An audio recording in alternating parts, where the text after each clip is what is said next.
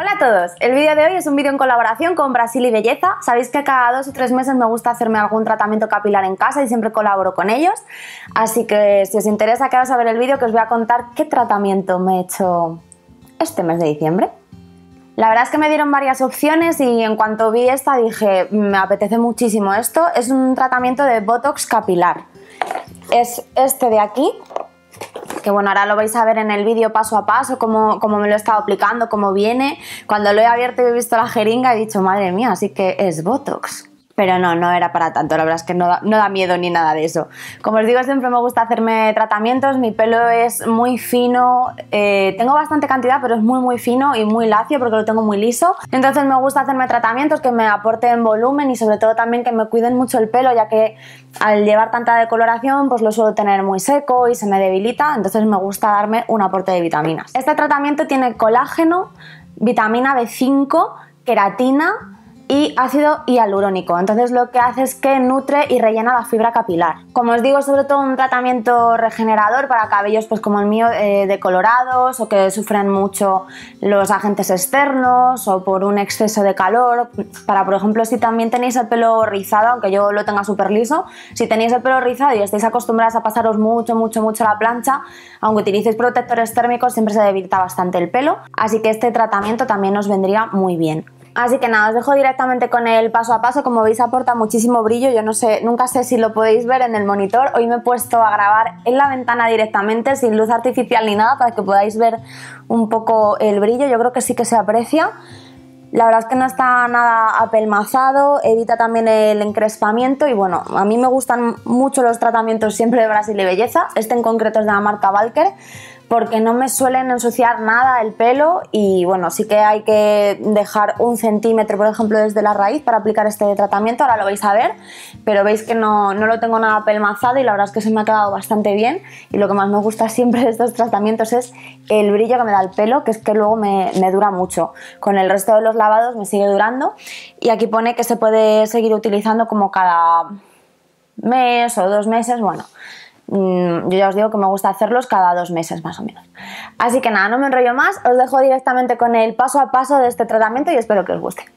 Lo primero que hago es darme dos lavadas con este champú, que es un champú específico para tratamientos de este tipo.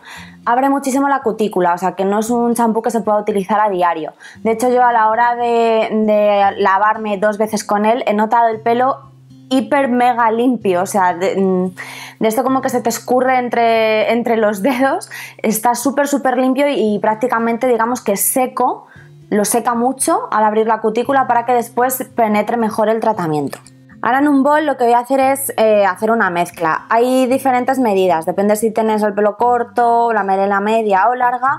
Yo he hecho la mezcla para melena media, que son 3 mililitros del concentrado y 30 mililitros de la base potenciadora. Lo he mezclado todo bien en un, en un bol con una paletina. Y ahora lo que hago es retirar el exceso de humedad de mi pelo con una toalla y desenredo bien todo el pelo con un cepillo.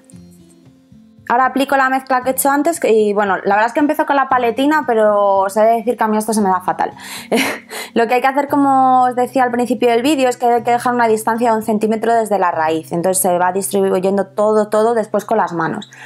Yo soy incapaz de hacerlo con la paletina, así que al final he acabado haciendo directamente con las manos todo el tratamiento y bueno, mm, se me ha dado bastante bien, creo yo. Una vez está todo el producto aplicado en el pelo, eh, hay que peinarlo bien para que se distribuya por todo el pelo bien, bien, bien. Bien, lo siguiente que hay que hacer es cubrir el pelo con papel film, por ejemplo. Yo tengo este gorro ya de otros tratamientos que me, que me suelo hacer capilares, es un gorro térmico. Y ahora viene la parte más rollo y donde realmente os dais cuenta que para hacer esto en la pelu se tarda un montón de tiempo y en casa realmente también. Hay que estar 20 minutos dando aire caliente.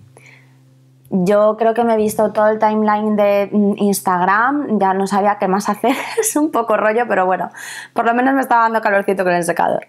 Una vez pasan los 20 largos minutos, eh, lo que hago es aclarar el pelo, pero no retiro de todo el producto. Quito, digamos, la mayor cantidad, pero no froto ni enjuago en profundidad. Se tiene que quedar un poquito de residuo en el pelo. Y ahora lo que hago es quitar la humedad con una toalla y también con el secador. Y ahora pues también con paciencia porque al tener un poquito de residuo no está manchado el pelo pero sí que tarda un poco más en secarse. Voy secando mechón a mechón toda la cabeza. Y por último, como en todos estos tratamientos, lo mejor es terminar con la plancha porque lo que hace es sellar la cutícula, que se queda mejor el tratamiento y también se queda mucho más pulido. Entonces, bueno, pues mm, podéis ver que, así es como me ha quedado, que lo acabo de terminar de, hacer. Me he maquillado porque la cara que tenía en el lavabo mejor no enseñarla. Pero bueno, veis que queda con mucho movimiento, que no se ha quedado nada pelmazado a pesar de tener un poco de, residuo. Y nada más, es que así es como queda. Yo estoy encantada, espero que os haya gustado este vídeo explicativo, este paso a paso. Comentadme si habéis hecho alguna vez algún tratamiento de Botox capilar. Yo sí que lo había hecho en peluquería y la verdad es que me gusta mucho y cuando he visto me lo podía hacer a mí misma, pues ni me lo he pensado. Espero, como digo, que os haya gustado este vídeo y nos vemos en el próximo. ¡Chao!